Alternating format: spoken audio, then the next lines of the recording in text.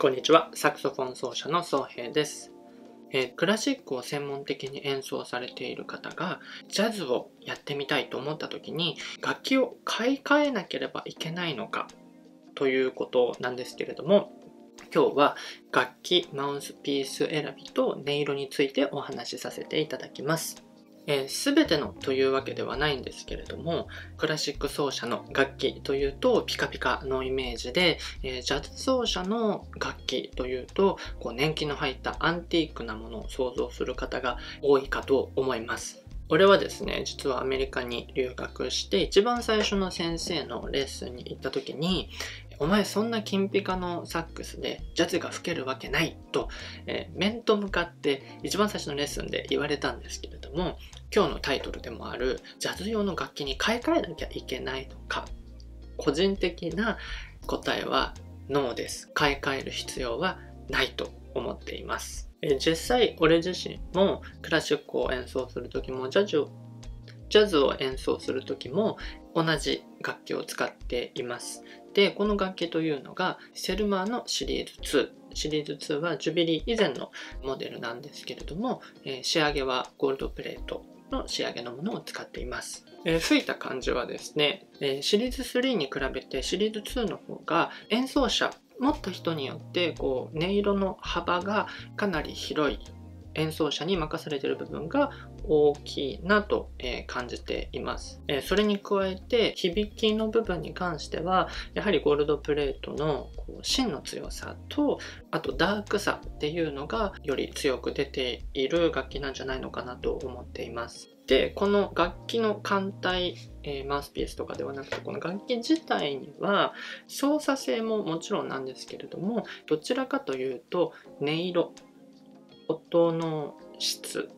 というものを重視して、え楽器を選んでいます。で、この音色選びなんですけれども、実際、チャーリー・パーカーに憧れていて、チャーリー・パーカーのような音色で絶対に吹きたいんだということであれば、もちろんチャーリー・パーカーが使っていったモデルのアンティークのものっていうのを使って演奏していくのが一番彼の音色に近づけるものだと思うんですけれども、ただその技術だったりスキルっていうのは手に入れたいけれども、音色自分が出している音というのは今自分が持っているこの楽器から出てくる音で演奏したいんだということであれば決して必ず楽器を買い替えなければいけないということにはなりません。えー、もしこの動画を見てくださっている方がジャズを始めたいんだけれども自分の持っている楽器はジャズ用のものではないということを理由にためらっているのであればためらう必要はありません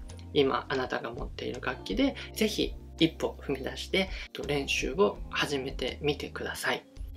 え次にマウスピースリガチャリードのお話をします。先ほどとは逆でこれらはもし余裕があるのであればジャズ用に作られたものを使ってみること試してみることをお勧めします。えー、じゃあなぜ、えー、マウスピースリードをジャズ用のものを試してみることを勧めるのかというとですねまずクラシックというのは、えー、ホールの残響だったり響きっていうのをとても大切にしている音楽だと思います、えー、それに比べるとジャズという音楽は、えー、音の始まりそれから終わりだったりとかを、えすごく明確にクリアにすることによってリズムっていうのを強調する音楽でそれぞれの音楽の表現の仕方というのが全く異なっていると感じるんですね。えそこでこのリズムをよりクリアに強調するためには音が発音される瞬間のものマウスピースリード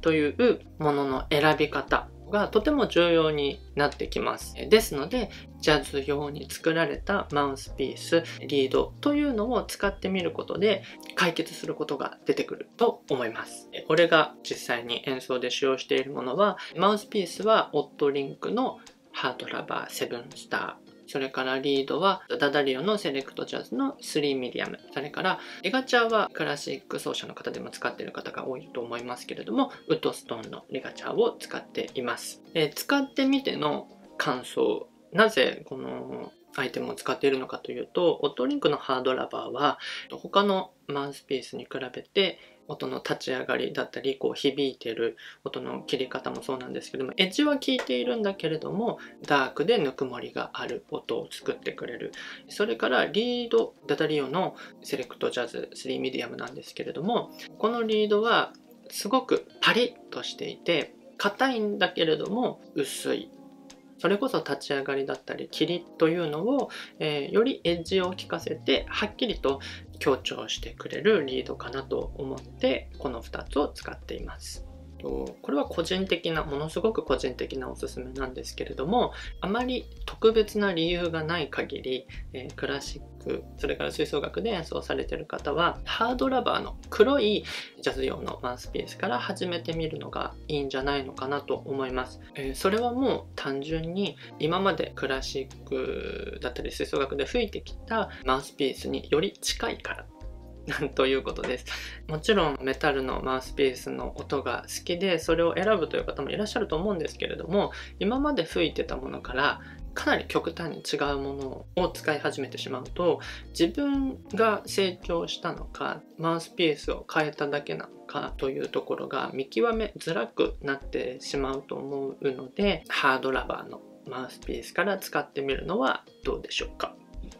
えー、ここまで楽器選び、それからマウスピース、リードの選び方のお話をしてきましたけれども、これらはジャズらしくリズムを強調しやすくしてくれるだけで、決してこのアイテムを変えたからといって、全てが一瞬でジャズに変わってくれるわけではありません。どちらかというと、ジャズのキャラクター、ジャズのスタイルというのをし安くしてくれる、手助けをしてくれるアイテムだと思っていますので、ぜひアイテムを変えるだけではなくて、そのアイテムをどうやったら使いこなせるかなというふうなところまでやってみるといいかなと思います。えー、今日はクラシック奏者がジャズを吹く時の楽器、それからマウスピース、リード選びについてお話しさせていただきました。えー、楽器に関しては、もし今お持ちのものがあるのであれば、是非その楽器で始めてみてください。えー、マウスピース、リードに関しては、楽器を買い替えるよりも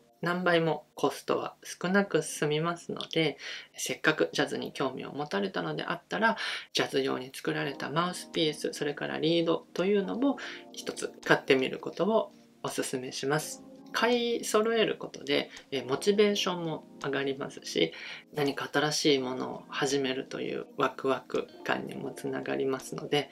ぜひ参考にしていただけたらと思います。ぜひ皆さんのご意見や質問はコメント欄でお聞かせください。え動画を最後までご覧いただきましてありがとうございました。また次の動画でお会いしましょう。